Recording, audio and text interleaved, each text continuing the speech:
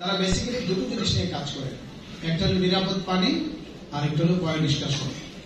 তো আপনারা জানেন, পানির অপর নাম জীবন। এটা আমরা সবাই সারা জীবন শুনে আসছি।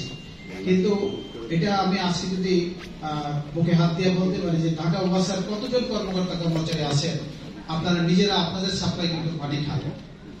হয় ফুটান না, অথবা এটাকে কোনো না কোনো মেকানিজমের মাধ্যমে এটাকে খাওয়ার উপযোগী করে গড়ে তোলেন না। আমি এখন থেকে প্রায় বিশ বছর আগে সিঙ্গাপুরে একটা প্রশিক্ষণে গিয়েছিলাম।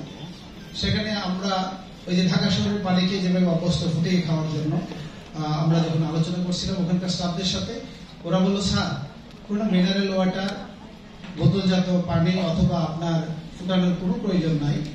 আমাদের লাইনের পানি সবচেয়ে বেশি নিরাপদ এবং সবচেয়ে বেশি উত্তম। আমরা সরাসরি লাইনের পানি খেতাম, এখন থেকে বিশ বছর আগে সিঙ্গাপুর। আর আজকে বিশ বছর পরে যদি আমরা চিন্তা করি ঢাকা শহরে আমরা ঢাকা ওয়াসা, আমি ওই মিনিস্ট্রির একজন সচিবের দায়িত্ব পালন করছি, আমাদের মাননীয় উপদেষ্টা মহোদয় আছেন সামনে এমডি মহোদয় আছেন। আমরা কয়জন বুকে হাত দিয়ে বলতে পারব যে আমি আমার সাপ্লাই কিন্তু পানিটা নিরাপদে খেতে পারি এবং এটা খাওয়ার কোনো ধরনের মেকানিজম করে আমি এটাকে নিরাপদ না করি। তো প্রিয় সহকর্মীবৃন্দ, এটা আমাদের জন্য একটা বিগ চ্যালেঞ্জ আমরা আসেন, আসুন, আমরা কীভাবে এই অবস্থা থেকে বেরিয়ে আসতে পারি? আমাদের ঢাকা ওয়াসার পাইপ লাইনের মধ্যে কখনো কখনো নানান ধরনের জীবাণু পাওয়া যায়।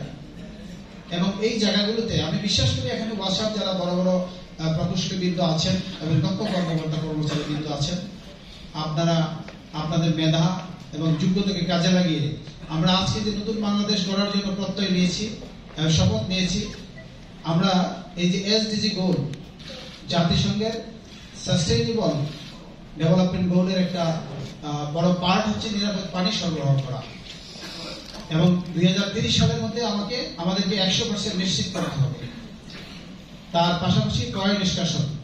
এই দুটো জিনিসে আমরা যদি এই ঢাকা ওয়াসা যদি দুই সালের মধ্যে হান্ড্রেড পার্সেন্ট কভারেজ করতে পারি, তাহলে জাতিসংঘের একটা সদস্য রাষ্ট্র হিসেবে আমরা মাথা উন্নত করে উচ্চ করে বলতে পারব যে আমরা আমাদের লক্ষ্যমাত্রা অর্জন করেছি।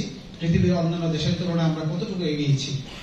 কিন্তু যদি আমরা পিছিয়ে থাকি, তাহলে কিন্তু হবে না।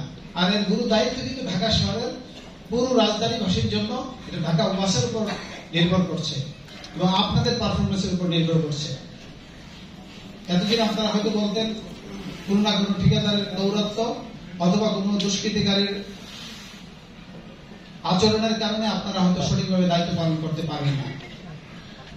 এখন থেকে আর এই কথা বলার কোনো সুযোগ নাই। আপনি এখান থেকে স্বাধীন বাংলাদেশে স্বাধীনভাবে সিদ্ধান্ত নেওয়ার মতো আপনার ক্ষমতা আছে, কিন্তু আপনি আপনার দায়িত্ব কতটুকু পালন করছেন সে ব্যাপারে আপনি আত্মজিজ্ঞাসা করবেন। এটা আমার বিনীত অনুরোধ। সরকার, উন্নয়ন প্রকল্প এবং উন্নয়ন ফান্ডে যথেষ্ট টাকা ঢাকা ওয়াসার জন্য বরাদ্দ রেখেছে। এই মুহূর্তে আপনাদের চলমান প্রকল্পগুলোর জন্য পঁচিশ হাজার কোটি টাকা বরাদ্দ আছে, যে প্রকল্পগুলো চলছে অলমোস্ট এবং আপকামিং প্রকল্পগুলো অত্যন্ত গুরুত্বপূর্ণ। আমরা মন্ত্রণালয় থেকে আপনাদের এই প্রকল্পগুলোকে আন্তরিকভাবে বাস্তবায়ন করার জন্য সর্বোত্তম চেষ্টা করে যাচ্ছি এবং নতুন ফান্ড পাওয়ার জন্য আমরা ইয়ারডির সাথে আলোচনা করে যত দ্রুত সম্ভব ঢাকা শহরে পয় নিষ্কাশন ব্যবস্থা মাত্র টোয়েন্টি পার্সেন্ট একটা স্বাধীন বাংলাদেশ আমরা উনিশশো একাত্তর সাল থেকে যদি হিসাব করি, আজকে কত বছর হলো? আমরা আমাদের পয় নিষ্কাশন ব্যবস্থা টয়লেটের ময়লা কোথায় কীভাবে আমরা বের করে দিব?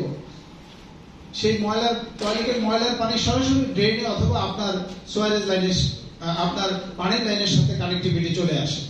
কোনো না কোনো ফর্মে তো সেই জায়গা থেকে আমরা যদি এখন বেরিয়ে আসতে না পারি, এই পয় নিষ্কাশন ব্যবস্থায় আমরা যদি হান্ড্রেড পার্সেন্ট যেতে না পারি, তাহলে কিন্তু ওয়াসার পানির সরবরাহ ব্যবস্থা নিরাপদ হবে না। আমাদের অন্যান্য কাজগুলো স্বাস্থ্যসম্মতভাবে বাস্তবায়ন করা সম্ভব হবে না। তো যত